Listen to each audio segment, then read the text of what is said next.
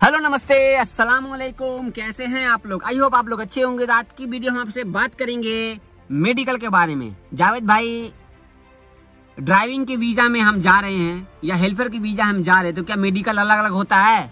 इस बारे में हम आज बात करते थे। वीडियो पे बने रहिए। वीडियो स्टार्ट करते one two three Javed blog में आपका स्वागत है। आपने अब तक मेरा चैनल सब्सक्राइब नहीं किया है तो प्लीज़ सब्सक्राइब कर लें और इस बेल आइकन को दबा लें ताकि आपको मेरे वीडियो की नोटिफिकेशन आ जाए। तो वीडियो स्टार्ट करते हैं। तो सबसे पहले मैं बता दूँ कि आपकी एज सऊदी आने के लिए 21 साल चार पाँच छह महीने होने चाहिए।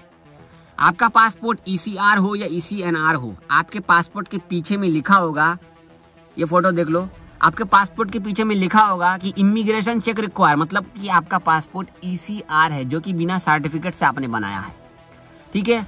और आपके पासपोर्ट में नहीं लिखा हुआ है कुछ भी तो वो आपका ईसीएनआर पासपोर्ट है।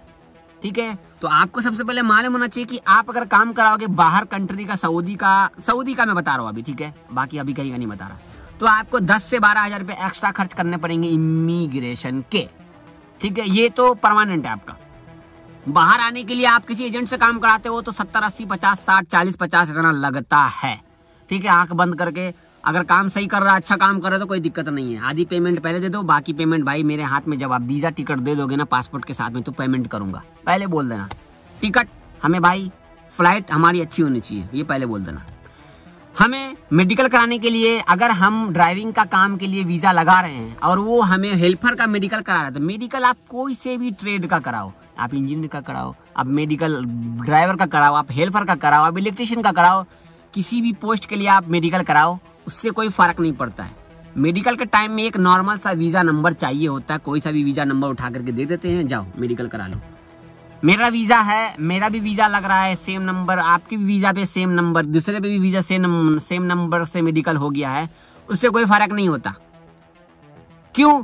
जब मेडिकल हो जाता है मेडिकल में आप फिट हो, उस टाइम पे दोबारा वीज़ा का नंबर अपडेट किया जाता है तो हम कोई सा भी ट्रेड चेंज कर सकते हैं। क्यों? सामने वाले को मालूम, हम बता देते यार अब वो हेल्पर में नहीं जाएगा, उसको काम मालूम था तो हमने चेंज करा दिया। उससे कोई फ़र्क नहीं। मैं जब आया था तो मैं हेल्पर का मेडिकल करा के आया था और मैं जिसको बुलाता भी था हूँ नहीं था।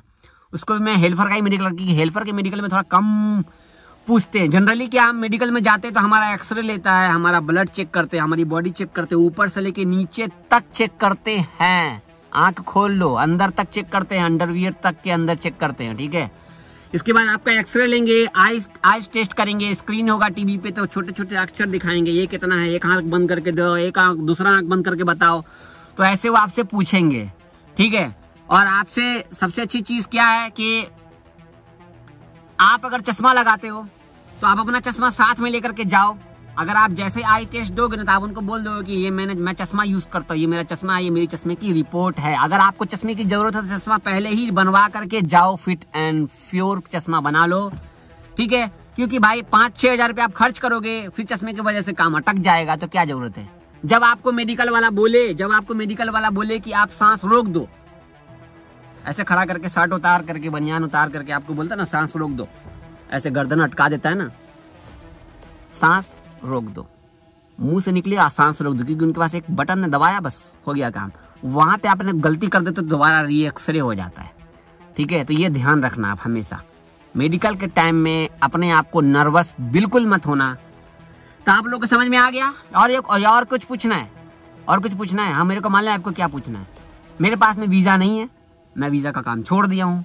आप प्लीज़ वीज़ा वीज़ा वीज़ा बोलना छोड़ दीजिए। क्यों? जो पिछली वीडियो वायरल हो रही है, वो पिछली वीडियो यूट्यूब पे है तो वायरल हो रही है। ठीक है? तो आप लोगों से मैं हाथ जोड़ता हूँ। आप लोग मेरी जो अभी वीडियो खत्म होगी ना यहाँ से, जो आपको लास्ट में तीन वीडियो जो मैं बोलता हूँ, यहाँ पे मैंने डाला हुआ है, वहाँ पे जाइए। वहाँ पे मैंने तीनों वीडियो में ऑफ़िस के बारे में बताया। उस ऑफ़िस में जाइए, उस ऑफ़िस के थ्रू काम करा करके आइए, क्योंकि मेरे पास अब कोई वीज़ा नहीं, मैंने टेंशन लेना छोड़ दिया है। ठीक है? तो आप लोग बस चैनल सब्सक्राइब कर लीजिए, वीडियो लाइक कर लीजिए। बाय बाय अल्लाह हाफिज। हेलो दोस्तों, आपके लिए मैंने यहाँ पे तीन वीडियो डाला है। तीनों वीडियो में से आपने जो वीडियो अब तक नहीं देखी है, उस पर क्लिक करके वो वीडियो देख लीजिए।